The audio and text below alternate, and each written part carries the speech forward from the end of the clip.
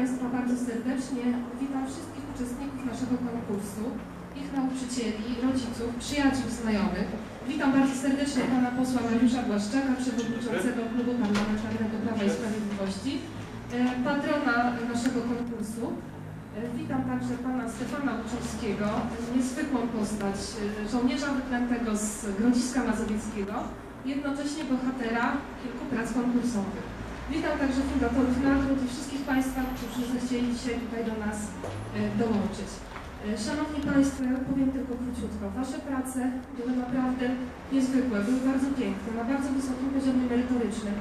Świadczyły o Waszej ogromnej pracowitości, o patriotyzmie, o miłości do ojczyzny. Kiedy je czytałam, kiedy przeglądałam, słuchałam, były w różnych formach, pomyślałam sobie jedno, jeszcze Polska nie zginęła. Oddaję teraz głos Panu posłowi. Dziękuję bardzo. Dzień dobry raz jeszcze.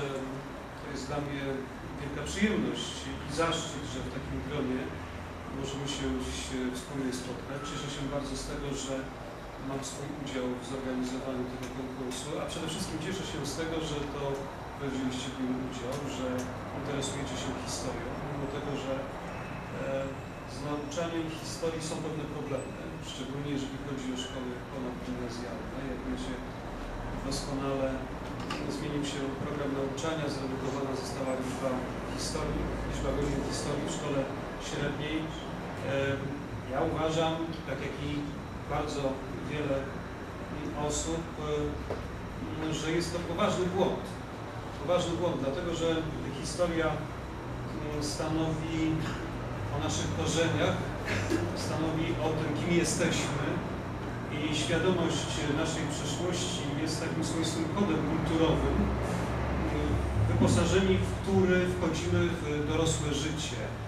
E, No niestety to, co się dziś w Polsce dzieje, może by tak ocenić, że tym, którzy rządzą, nie zależy na tym, żebyśmy naszą historię znali, żebyśmy mm, byli świadomi swojej przyszłości, bo poprzez znajomość przeszłości jesteśmy świadomi również pewnych zagrożeń, jakie cze- czekają na nas e, w przyszłości. Mm, Ale jak doskonale wszyscy wiemy, żadna władza nie trwa wiecznie, ta również e, jest wiele pracy przed tymi, którzy mm, do rządu dojdą. E, Mam głębokie przekonanie, że będzie to Prawo i Sprawiedliwość i wówczas mm, te zmiany zostaną wycofane, te, które zostały dokonane za rządów premiera Donalda Tuska. Także jeszcze raz serdecznie gratuluję wszystkim tym, którzy wzięli udział w konkursie, a szczególnie gorąco wszystkim tym, których prace zostały nagrodzone.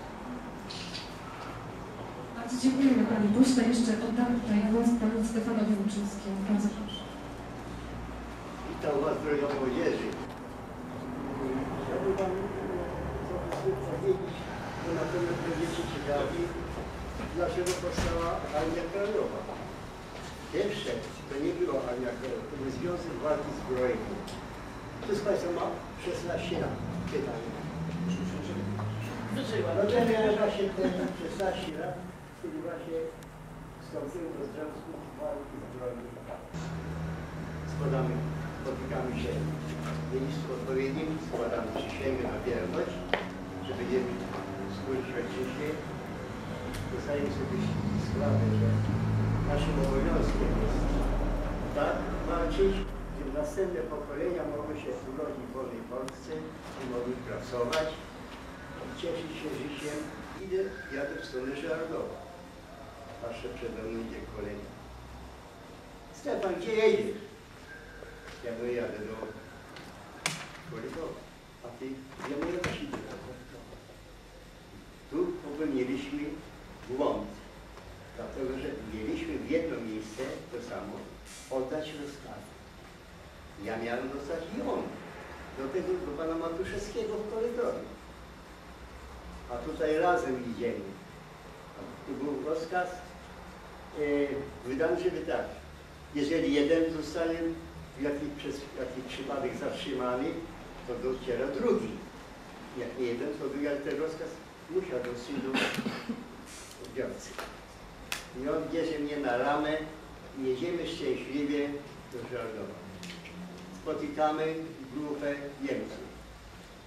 Jakaś jest tam łapanka. a między nimi są Węgrzy, żołnierze węgierscy. Zatrzymują nas żandarmi, nas skóra ścierpła, co z nami zrobią? A podchodzi oficer węgierski, coś do tego Niemca powiedział, bierze mnie i, i mojego kolegę pod rękę, odprowadza nas do samochodu i wywożą nas.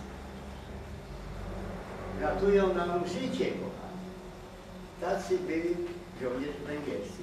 Oni byli wspaniałymi współpracownikami z nami, współpracowali nam dosłownie wspaniale nam pomagali w naszej działalności. Mogliśmy dostać od nich broń, i żywność, i amunicję, zaopatrzenie, co tylko przeżyliśmy. No były jedne były dosyć komiczne, drugie były bardziej tragiczne, ale jakoś przeżyłem. Nie dałem się. A z pracach konkursowych, które Państwo tutaj pisaliście, to znajdziecie moje opowiadanie bardziej szczegółowo.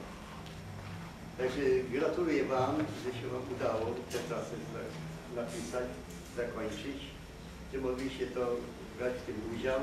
Cieszę się, że w ogóle się interesujecie sprawami Armii Krajowej.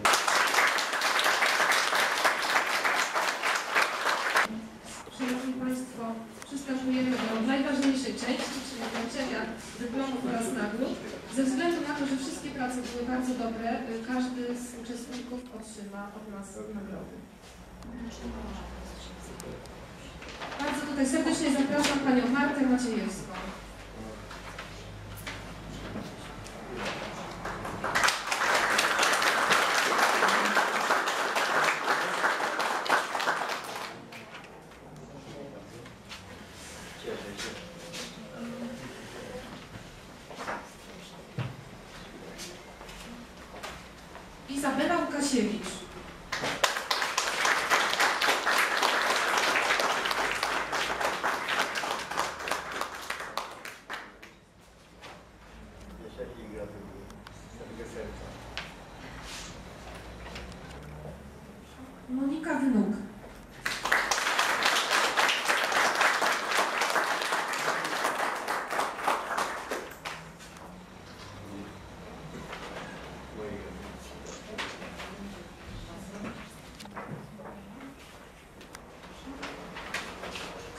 いい。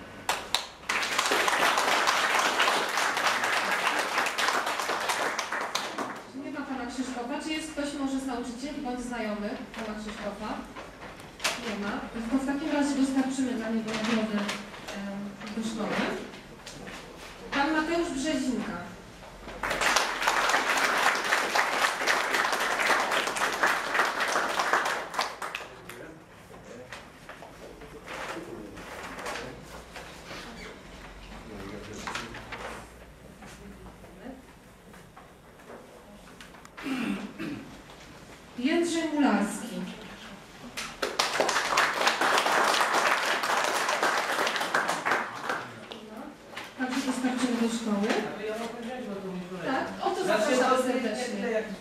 Zapraszamy serdecznie. Ale kolega, ale uścisnąć się nie można.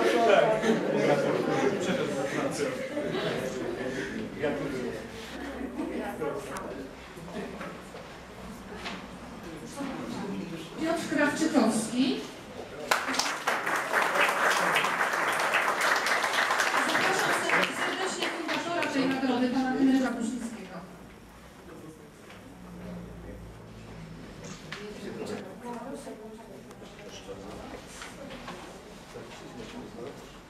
Tak jestem niezmiernie uradowany, Słychać, słychać. Że organizatorzy przeprowadzili konkurs właśnie o takiej tematyce. Tutaj szczególnie mam dużo uznania dla młodzieży, gdzie w tych trudnych czasach po pierwsze odważyli się napisać tą pracę, a po drugie zrobili to w sposób bardzo dobry, zasługujący na wyróżnienie. Ponieważ tematyka jest wyjątkowo patriotyczna, uznałem, że i nagroda będzie patriotyczna, dlatego ufundowałem y, srebrny medal wybity przez Menicę Pol- Polską Kilka punktów autentyczną rzeczką. Myślę, że łącznie certyfikaty autentyczności. Nie pomyślę, że to podróba jest, to tak moi koledzy. Ale myślę, że będzie to się dobrze, dobrze kojarzyć i że w pełni na to oczekiwać.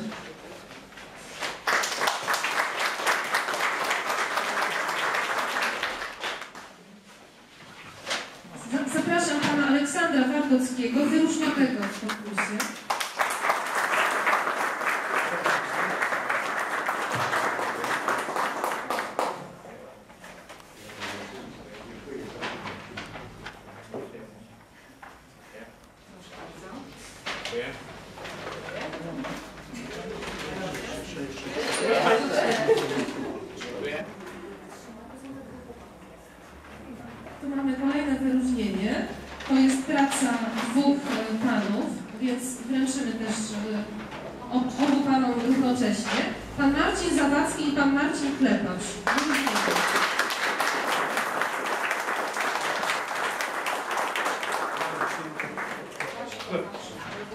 Serdeczne gratulacje.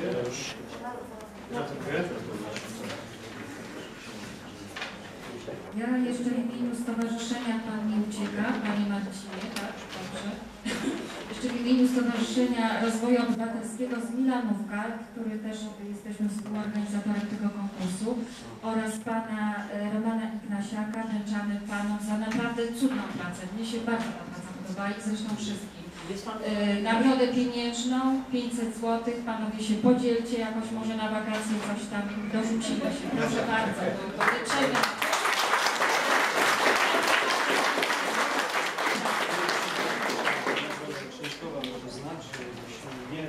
Jest pan Roman, także może jeszcze pan e, drugi fundator też uściśnie dłoń. Tak, tak. Pan Roman. najpierw.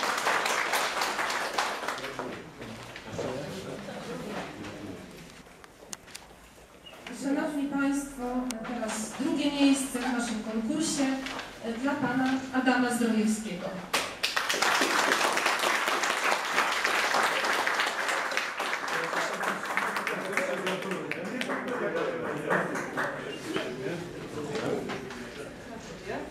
Dziękuję po pierwsze. Dziękuję. Be- Bez pana by tej pracy nie było. Ta nagroda dla Pana Adama Zdrojewskiego została ufundowana przez portal tugrodzisk.pl oraz radną Ewę Górską. Czy jest Pani Ewa? Zapraszamy Ewusiu.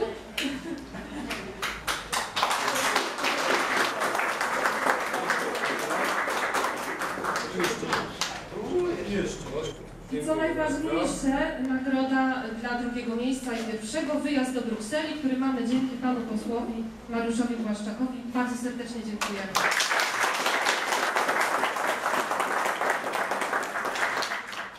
I teraz główna nagroda dla Pani Malwiny Grabowskiej za zajęcie pierwszego miejsca w konkursie.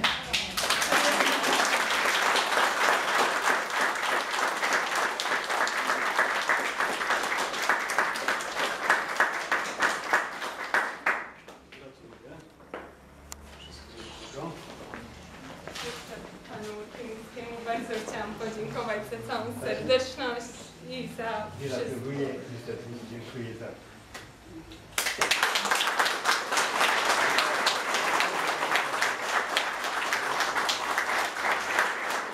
Tylko proszę jeszcze zostać, ponieważ jeszcze specjalna nagroda dla Pani od Pana Wojciecha Hart, Przewodniczącego Rady Powiatu. Poza pełnioną funkcją przede wszystkim występuję jako reprezentant samego siebie i mojej czcigodnej małżonki. Jest to nagroda prywatna e, dla Malwiny. E, Utrzymując się w konwencji patriotycznej, w konwencji bardzo fiskalnej, przekazuję w, te, w tejże oto kopercie pięć razy Władysław Jagiełło dla Malwiny, tak aby ubogacała tak, tak, aby swój warsztat historyka w utrwalaniu śladów historii lokalnej. Muszę Państwu powiedzieć, że byłem pozytywnie porażony y, tym, co czytałem we wszystkich pracach, ale nie będę ukrywał tego. Praca Malwiny to gotowa książka i jako Wojciech Hart, i jako samorządowiec zrobię wszystko i składam taką deklarację publiczną, aby ta praca przybrała formę książki. Gratuluję.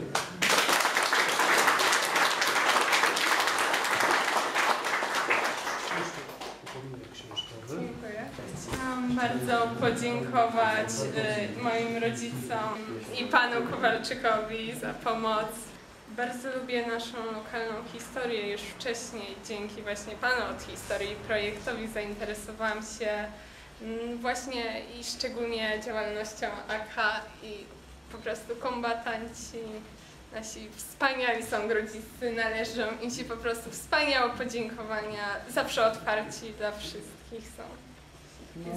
Super. Gratulujemy serdecznie. że w listopadzie, ale to po wakacjach jak gdyby, ogłaszamy drugi konkurs i jego rozwiązanie planujemy na 1 marca.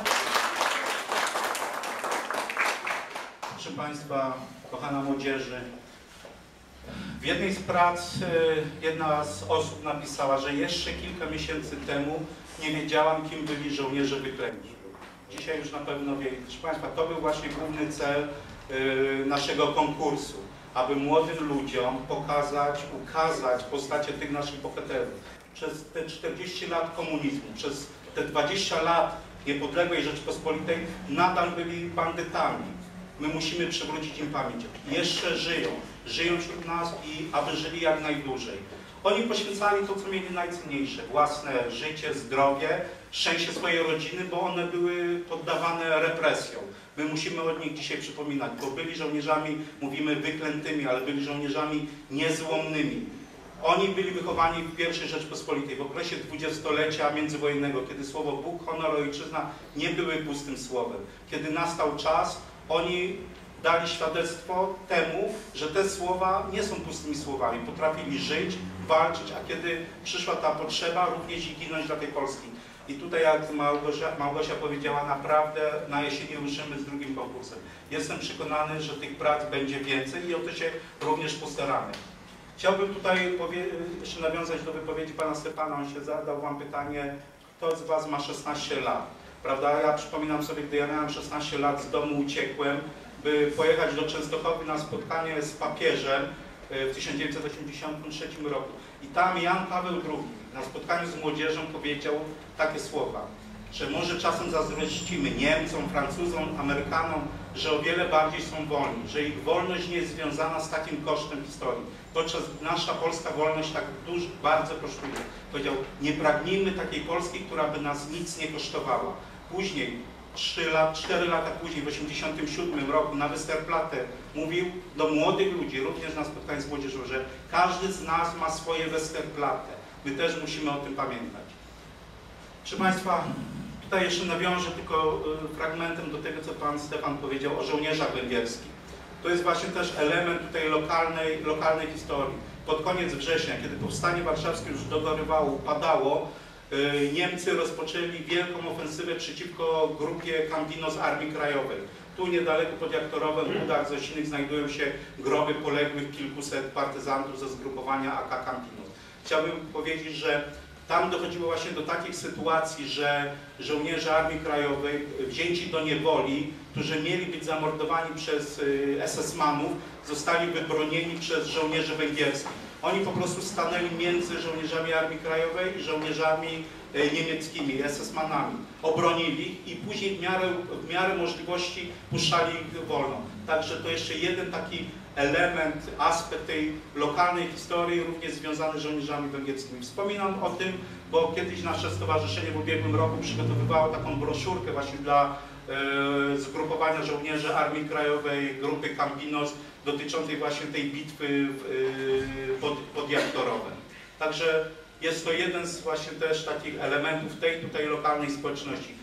Stało się tak, że koło dziejowe rzuciło mnie właśnie tutaj do Grodziska i jak ja już tutaj mówiłem moim paniom, jeśli tak mogę powiedzieć, ja tego tematu o żołnierzach wyklętych nie odpuszczę. Ani ja, ani koledzy, moi koledzy ze Stowarzyszenia Solidarność Walcząca. Dlatego, że w latach 80., w latach stanu wojennego, kiedy Solidarność Walcząca powstała najpierw we Wrocławiu, a później oddziały powstawały w różnych, wielu miejscowościach, w końcu powstało również i w Warszawie. I moi dwaj koledzy Tomek i Jacek byli założycielami tego warszawskiego oddziału Solidarności Walczącej. Solidarność Walcząca nawiązywała ideowo właśnie do żołnierzy formacji niepodległościowych z II wojny światowej, Armii Krajowej, Narodowych Sił Zbrojnych, innych organizacji niepodległościowych. To są jakby nasze korzenie. Wtedy nie mieliśmy takiej wiedzy o żołnierzach wyklętych jak teraz. Oczywiście wychodziły książki w podziemiu dotyczące tego tematu. Niemniej ta wiedza nie była tak szeroka jak obecnie. Niemniej jednak czuliśmy tą więź i to, co robiliśmy, robiliśmy w przekonaniu, że tym naszym wzorcem, wzorcem zachowań, postaw tych ciężkich latach stanu wojennego byli właśnie żołnierze Armii Krajowej, Narodowych Sił Zbrojnych. Proszę Państwa, ja jeszcze na zakończenie chciałbym z naszej strony podziękować e, ofiarodawcom, którzy nie zostali tutaj wspomnieni, a którzy jakby są fundatorami. Jest to Stowarzyszenie Odraniemen z Wrocławia, o Stowarzyszenie Wrocławskie, które organizuje pomoc dla kombatantów Armii Krajowej i Rzeszenia Wolność i Niezawisłość na naszych kresach, ziemiach utraconych, na Wileńszczyźnie, e, na terenach obecnej Białorusi i na Ukrainie. Chciałbym podziękować wydawnictwu Rytm za oferowane książki, książki o żołnierzach wyklętych. Żołnierze wyklęci e, Zygmunt Szyndziela-Żupaszko i Jan Taborkiewicz-Bruzda. E, Chciałbym podziękować jeszcze oczywiście Instytutowi Pamięci Narodowej.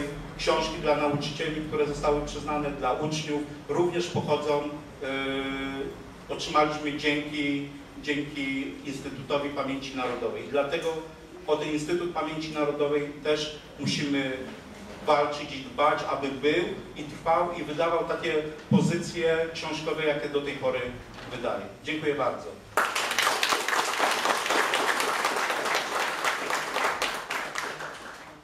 Teraz zaproszę wszystkich Państwa do wspólnego zdjęcia, ale jeszcze zanim e, to tutaj Pan Poseł jeszcze zaprasza wszystkich uczestników e, naszego konkursu na wycieczkę do Sejmu. Zapraszam Państwa, wszystkich, e, którzy uczestniczyli w tym konkursie do Sejmu. Pewnie część z Państwa już w Sejmie była, ale myślę, że zawsze warto spojrzeć i obejrzeć to miejsce od wewnątrz, zobaczyć jak ta instytucja, która powinna być centrum demokracji, działa. Ja ofiaruję siebie jako przewodnika. Serdecznie Państwa zapraszam. No i jeszcze może dwie takie uwagi. Po pierwsze, historia jest ciekawa. Doświadczyliście tego, badając historię właśnie podczas e, tego konkursu, prawda? Jest ciekawa. Jest ciekawa, niewątpliwie. No i po drugie, e, trzeba być, warto być dumnym. Trzeba być dumnym z tego, że jesteśmy Polakami, z naszej historii. Są tacy, którzy mówią nam, że powinniśmy przepraszać za jedno, za drugie, za trzecie. E, Nie, nie ma za co przepraszać. Nie ma za co przepraszać. Powinniśmy budować wokół właśnie naszej historii poczucie dumy narodowej. Spójrzcie Państwo chociażby ostatnio przejęcie władzy we Francji przez prezydenta, który jest przecież prezydentem lewicowym. Jak często tam padało słowo Francja, jak często tam padało słowo wymawiane z dumą, jestem Francuzem. My nie mamy powodu, żeby e, nie być równie dumni niż Francuzi. Nasza historia jest wspaniała. E, W sobotnio-niedzielnym plusie i minusie Piotr Semka napisał artykuł na temat Rzeczypospolitej Szlacheckiej, przyrównując ją do Stanów Zjednoczonych. Tak, to był kraj, to było państwo w owym czasie, do którego mm, przybywali różni e, ci, którzy w swoich krajach byli zniewoleni. Dlatego, że Rzeczpospolita Szlachecka przyciągała swoimi wolnościami, poszanowaniem prawa obywateli innych, innych państw. To było państwo obywatelskie, prawdziwie obywatelskie. Termin tej wycieczki ustalimy już z Panem Posłem i z Państwem, e, skonsultujemy się mailowo, dobrze? I ustalimy, czy, czy przed wakacjami, czy, czy, czy. A teraz zapraszam do zdjęcia wspólnego.